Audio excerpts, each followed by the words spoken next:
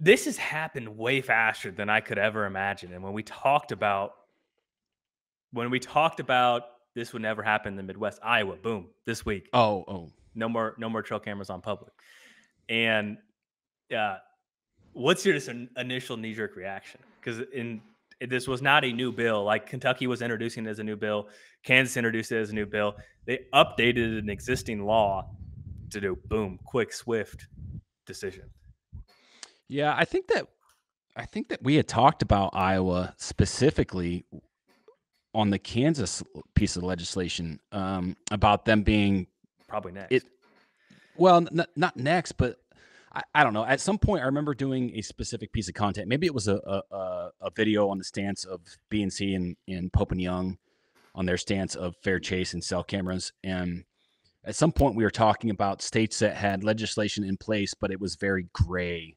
It mm. was like communicated as the aid the aid of electronic devices tied to the whereabouts of game or actively hunting, some something along those lines. And I, I made the comment of it would be better to be to make it black and white. And I think that's kind of where we're sitting at right now with the situation in Iowa. Like they've made a clear stance that cellular cameras or trail cameras fall in fall in the place of those electronics in the know abouts of of game of big game. Um, it's still it i don't know even though it was already in place and they've made it more black and white like it still feels slimy mm. and and maybe that's because like we're so tied to some of the folks on the ground in iowa and they are like up in arms about the situation um so i don't know if that ties into my personal perspective or not but um i yeah a handful of years ago we said I maybe I said we said Brand said that it would never happen east of the Mississippi. It would never happen in the Midwest because of deer hunting. Well, it's still of the whitetail east. culture. Yeah, still not east of. Well, yeah, technically it's still not east yeah. of Mississippi, but it's it it is becoming more widespread. Yeah, it's becoming more widespread through the Midwest, and uh, you know, the Kentucky thing has been talked about. So I think that we probably will see it east of the Mississippi. Mm-hmm. Yeah, and so basically they updated updated the law that you can't leave anything overnight other than a tree stand. So that includes trail cameras. And so that was one thing. And we had a, a, a piece of information sent to us. And basically, the rule has been clarified. There is a lot of information in the hunting regs on what hunters can use and set set out certain things, blinds, decoys, tree stands, etc. And trail cameras were added as the technology and use use became more common. We went through the regs book and gathered all those restrictions and put them in one section to try to make it easier to find and understand for our hunters. Trail camera sending pics to cell phones are considered an extension of the cell phone and illegal when used to assist in the hunt. Just like a CB, mobile transmitter, drones, etc. Hunters may use a trail camera on public land, but not but cannot leave it there or use it while actively hunting. So there's like we were chatting this morning how that reads cell cameras would be illegal on private as well if you're using it for the pursuit of an animal. That's right. Super hard to super hard to govern and and everything else because people are going to make the security thing and but, uh, man, it's crazy. We're we're living in 1985. yeah, it's uh, uh, I I don't yeah. I mean, not sure what to to re- to really say about it. Like we were talking this morning and or maybe it was yesterday because I think some of that news is a couple days old now, but yeah, um, I think yesterday morning we were talking about it at the office, Justin and Cameron and I, and somebody made the comment like, "Well, that'll never happen in private." And I'm like, "It's already happened in Utah," and True. like, dude, in a couple within 24 hours, you got an official statement, a response from the Iowa DNR claiming that, like, the way that that reads, they are illegal if you're hunting on private ground. Mm-hmm. And I like the push is everyone's up in arms and pushing or talking about the chatter is about public land. Like that's been the chatter that I've read. Absolutely. And, you know, people texting me. That's that is the focus. But in the broad picture of what is going on, you can't use them on private ground. To assist in killing a deer in real time. Yeah, or actively uh, yeah. or actively yeah. hunting. So, like, if you have, so, so what's, me, I wonder what, what's considered actively hunting. Like, if you get a, you have your security camera up, right? And you get a picture of a deer four days earlier, and then you go hunt and kill that deer. Like when you sign that Boone and Crockett affidavit, is there like an updated question there? And like, what's the statute of limitations? Can't. I don't know. I don't know either. I'm just asking. I, have never shot a booner to have to sign the affidavit, so but I don't know.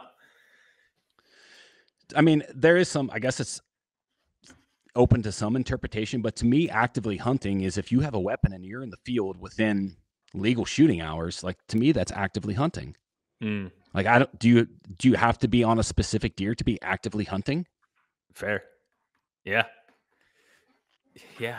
I feel like there's going to have to be additional clarification, and I think that it's going to be really hard to govern. And I think there's just a lot of gray area, which uh, maybe their intent, maybe not. I don't know, but that's yeah. the that's the the response that a lot of folks get. Like I, we were talking with Mike Rex, um, who is a non-state employee on the uh, Wildlife Council here in Ohio, and and this is true across any state in America, right? Like specifically tied to the DNR or wildlife councils or recreational officer officers or whatever that entity, um, however that entity is set up. But they are so understaffed.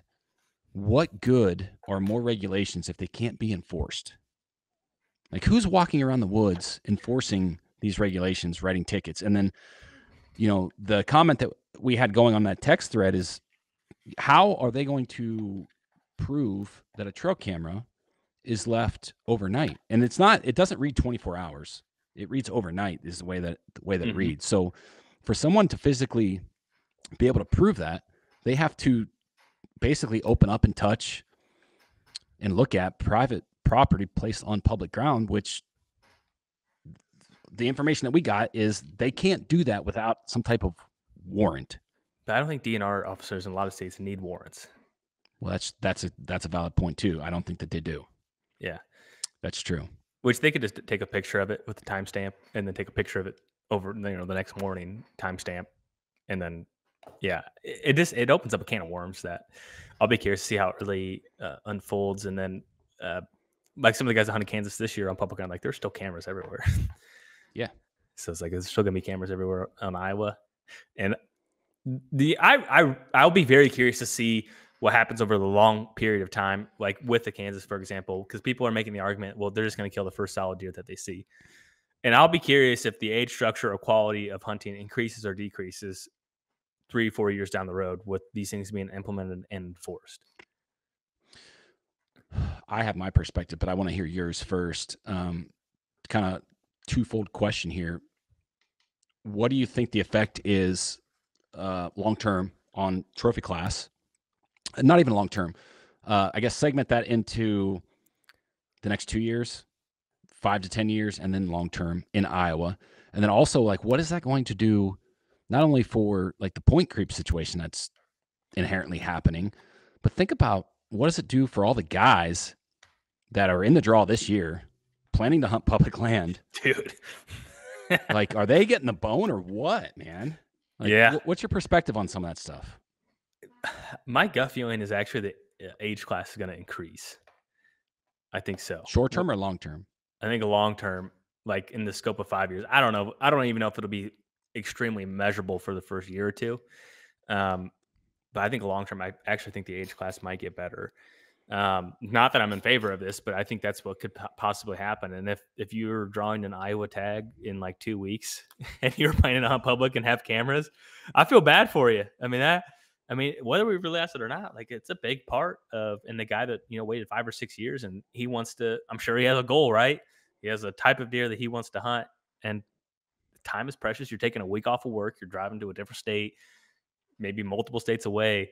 I do feel bad for those guys. Um, but I, I do think it's long term. Like I'm anti, I'm anti over legislation of everything. Like I, that's that's me as a person. But I'll, I think the age structure will get a little bit better. I really do. Um, what do you think?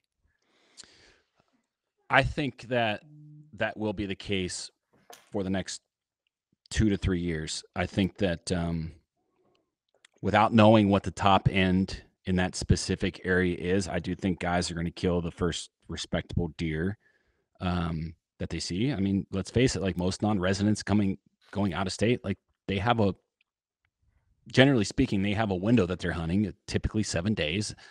And I think there's going to be a lot of 130 to 150 inch deer get killed. And mm-hmm. in Iowa, those are three and four year olds. And there will be the top end deer now. You know, there there'll still be some big deer get killed. Like, don't get me wrong. But I think that there's going to be a gap where those three and four year olds that are, you know, 130, 140, 150 inch type deer are going to get killed over the next couple handful of years which is going to inherently decrease the upper end bucks over a longer term. That's my that's my opinion on it. I think um, a lot of I also going to kill those deer regardless, though. So maybe, it's going to be harder to kill those may, deer. May, could be, maybe. I mean, I, who yeah, who knows? Right. We don't we don't know. I mean, it's all it's all uh, opinion based, but um, I think the, the what's it going to do with the point situation? Are, they, are there going to be people that drop out because of it? Because this is also tied to the the non-resident party hunting loophole. Yeah. Um, where guys could go buy you know four hundred fifty dollar tag, doe essentially a doe tag, and kill a buck with a you know party hunting that got closed down. Yeah.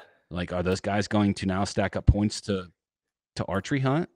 I mean, if they're only gun hunters, they're still going to be forced to buy points to to gun hunt it, right? Um, but what, like, what does that do to the point creep situation? It's going to make it worse. Um, I think that some of those people that have been hunting their farms every year through this loophole are going to probably leave the state of Iowa, uh, go buy a farm in a different state. I think that's probably going to happen. And but then it's like to me, it just continues to solidify that I will continue to be the best state in the country for hunting whitetails. Like if if the line gets longer, I still think it's going to improve. I mean, that's that's the reality of it. And I, you know, it's, yeah, it's it, it's it's the unknown right now. But I think those are all fair conclusions or hypotheses of what will happen. And I do think there'll probably be a departure of some large landowners in Iowa.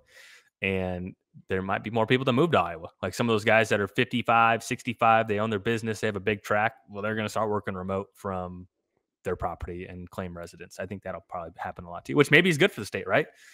Yeah. Yeah. I th- yeah, I mean to to your point, it's all hypotheses at at, at this point. Uh, I'm interested to see what happens like in the in the land situation. Like does it drive the price of leases up? Are more people going to start hunting with outfitters to get on private because they have less faith in the the process of hunting public land without the aid of trail cameras? It's hard to say, but the reality of it is, is you're right. Iowa's going to remain in Iowa, and there's only a handful of states that give you that opportunity to kill those types of deer. What I feel bad for is the states like Indiana, the states like Ohio. Like how much more, more. non-resident pressure are are states like that going to get because they have over-the-counter tags? Yeah, I have can... to. I have to think like we're going to absorb the the overflow um, from the Iowa situation. That's a good point. Yeah, I think a lot of people will end up going to some some different states that are e- easier to draw and it's it's ever it's ever changing. It's like you wouldn't have uh, a week ago. I would never guess that this was going to happen, just because legislation season was over and it was the you know like a good legislation and, and you know like I'm sure there's people in Iowa that are very pro for these changes, and then we know some people that are very upset with it. And I think that's can't change it now. I mean, it's it's law, and the the ability to go back and change the law is a lot harder than getting a new bill introduced. Yeah, yeah. It's nuts.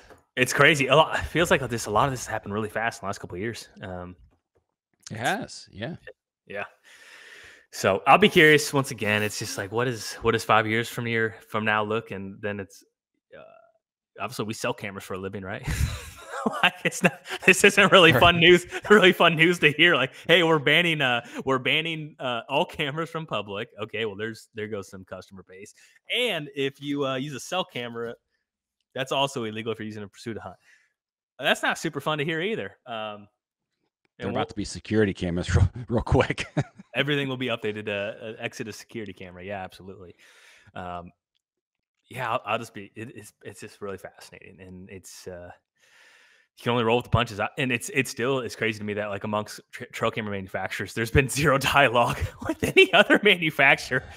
like we we are the worst product category in this space to uh to go up to bat for ourselves. It's it's and maybe we're not cool enough to be involved in some of those conversations. Uh, but I take a heavy bet that they have not even existed at all. Like you would think that. No, no, I, I would agree with you 100. percent We're the only company in that space with any type of media present.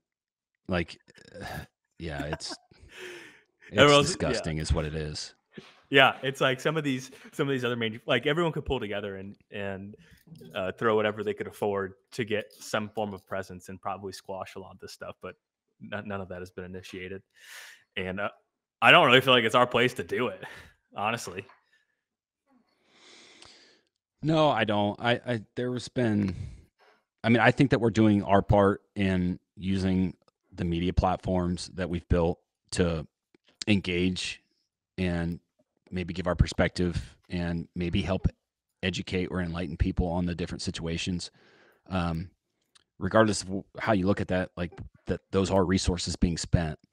Um, but there needs to be one of the big conglomerates or bigger brands step in and create some type of coalition or alliance and help fight some of the stuff. And to your point, it's not happening.